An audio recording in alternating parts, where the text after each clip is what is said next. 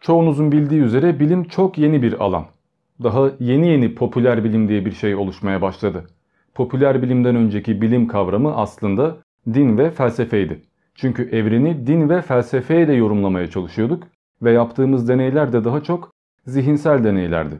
Tıpkı şu anda kimya biliminin olması ama kimyaya bin yıl önce simya dememiz, 5000 yıl önce de bunu büyücülük olarak adlandırmamız gibi.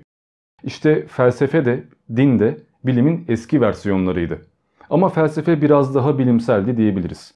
Tez, antitez ve sentez yöntemiyle fikirler ortaya atıp, bunları test edip, sonuçlara ulaşıp, o sonuçlardan yeni fikirler üretip, böyle böyle geliştirerek, ileride de bunu cihazlarla ve direkt olarak bir yöntem olarak deneylerle ortaya koyduğunuzda buna bilim diyordunuz. İnsanlar farklı yöntemlerle gerçeği sorgulamaya başladılar. Bir şeyler hakkında teoriler ürettiler. Kimileri gerçeğe sadece düşünmek yoluyla ulaşabiliriz dediler. Kimileri ilham yoluyla, vahiy yoluyla yani kalp gözüyle, sezgi yöntemiyle gerçeği anlayabiliriz dediler. Kimileri de deney ve gözlemle, nesnel olarak bunu araştırmakla öğrenebiliriz dediler ve bunlar farklı alanlar oldular.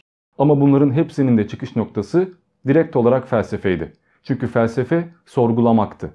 Ki din de sorgulayarak ortaya çıkmıştır. Zaten bununla alakalı videoları paylaştım bakarsınız. Öncelikle varlığı, insanı, felsefeyi, bilimi, dini yani bizim sistemlerimizi anlamak için kendimizi de anlamamız gerekiyor. Çünkü insanlar yapısı gereği soru soran varlıklar. Ben niye buradayım? Niye yaşıyorum? Ne ifade ediyorum? Neden varım?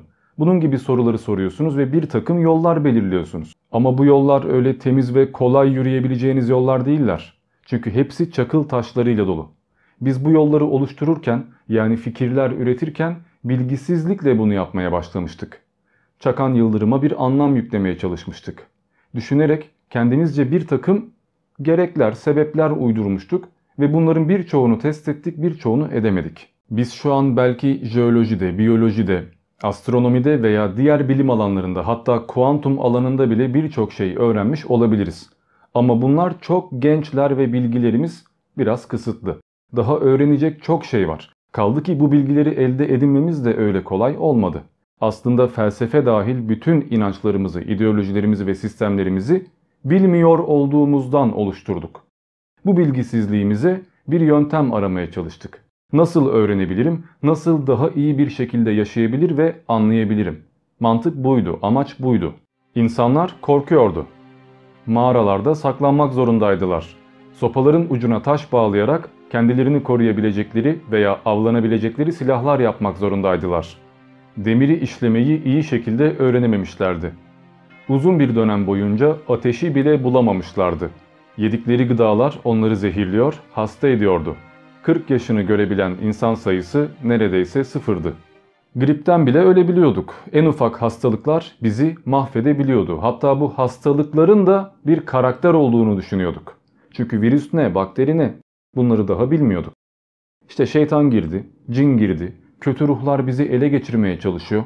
Bunun gibi teoriler üretiyorduk. İnsanlar açtı. Henüz adam akıllı ekip biçmeyi öğrenememiştik. Ya yamyamlaşmıştık artık birbirimizi yiyorduk.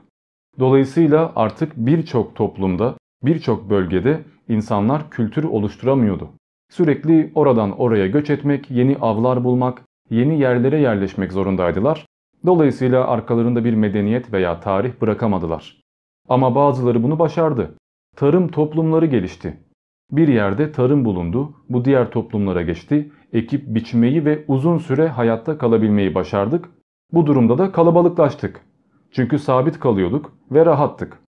Biz çoğaldıkça, daha da güçlendikçe, geliştikçe bu sefer zamanla bir şeyleri düşünebilmeye, sorgulayabilmeye imkan bulmaya başladık ve bu durumda da icatlar geliştirdik. İşte tekerlek gibi şeyler ürettik ki onun tarihi de daha eskiye dayandırılıyor. Ama özetle birçok icadımız hatta birçok din ve ideolojimiz aslında tarım toplumlarında ortaya çıktı. İlk yasalar, ilk kurallar, Hammurabi gibi ilk türden kanunlar tarım toplumlarında ortaya çıktı ve zaten yazı bile yani tarih bile tarım toplumlarında geliştirilmişti.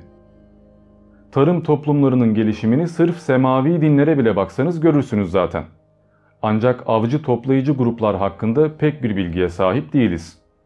Onlar ne bir kayıt bırakabildiler ne de bir gelenek oluşturabildiler. Avcı toplayıcılar sürekli doğa ile mücadele halindelerdi ve doğadaki her şeye bir anlam yüklemişlerdi. Gerçi bunu tarım toplumları da yapmıştır.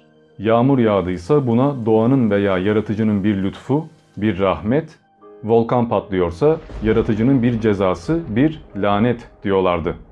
Ne görsek, ne bilsek, neyle karşılaşsak sanki bizim için varmış gibi düşünüyorduk. Örneğin diyelim ki bir yıldırım çarptı ve akrabamı öldürdü. Kötü bir şey yapmıştır ya da bu bana bir uyarıdır. Bir varlık özellikle onu o şekilde öldürmüştür diyorduk. Ya da karşımıza kolay bir av hayvanı çıktı. Hmm, birisi beni ödüllendiriyor, bana kıyak yapıyor diye düşünüyorduk. Çünkü var olan her şeyin bizim için olduğunu düşünüyorduk ama zamanla bu fikirden uzaklaşacaktık. İnsanların bu görünmez güçleri oluşturması ve canlıcılık ilkesi, şamanizm inancı gibi doğa ruhlarına tapınma dönemi, doğayı anlamak ve anlaşmak istemelerinin bir sonucuydu. Eğer doğayı iyi bilirsem, onunla anlaşırsam rahat yaşarım. Yıldırım çarpıp benim hayvanlarımı telef etmez. Bunu yapmaması için onu memnun edecek bir şeyler yapmam lazım. Bunu nasıl yapabilirim? E, birisi bana hediye verince nasıl seviniyorsam demek ki ben de bu güçlere hediyeler verirsem onları sevindirme şansım var. Bu mantıktan sonra kurban vermeye başladık.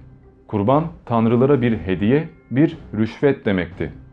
Kurban verdikten sonra bir de ritüeller geliştirmek lazımdı. Bu varlıkla anlaşırım ama nasıl anlaşırım? Ellerimi mi birleştireyim yoksa secde mi edeyim yoksa başka bir şey mi yapayım? Bunları bulmak gerekiyordu. Bu konu böyle uzar gider. Dolayısıyla burayı geçiyorum. Özetlemek gerekirse felsefe doğayı anlamak istemekle ortaya çıkmıştır. Din ise doğayı anladığını zannederek ortaya çıkmıştır. Bilim bu ikisinin de arasından sıyrılarak bize neyi ne kadar anladığımızı göstermeye çalışan bir alandır. Tarihte hiçbir zaman felsefe veya dinler öncesi, dinler sonrası diye bir dönem ayrımı yoktur. Çünkü net bir çizgi bulma şansınız yok. Eğer isterseniz mağaralarda hayvan resmi çizen 50 bin yıl önceki kabilelerde bile bir inanış bulabilirsiniz. Çünkü o resimler bir sanattır, bir mirastır. O bile sizi bir dine veya felsefeye götürebilir. Ama işte yazının icadıyla tarih öncesi ve tarih sonrası dönem olarak veya bilim öncesi ve bilim sonrası olarak bunu ayırabiliriz. Gerçi bilim de aslında bütün icatları barındırır. Yani aslında bir bakıma tekerleği bulmak da bilimdir, ateşi bulmak da bilimdir. Dolayısıyla aslında biz ayrımlarımızı tarih öncesi ve tarih sonrası diye yapalım ve bilebildiğimiz kadarıyla kaynaklı, belgeli, elimizde hangi raporlar varsa onlara göre konuşalım. Öbür türlüsü şahsi fikirler olur, inanç olur.